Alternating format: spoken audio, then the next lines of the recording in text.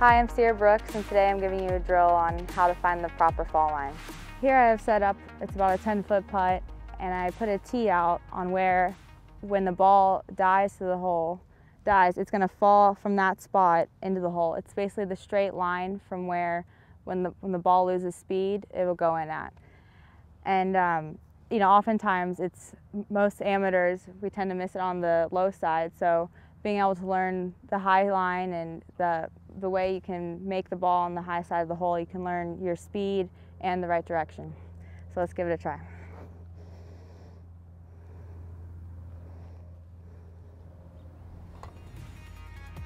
Hopefully that can help your putting.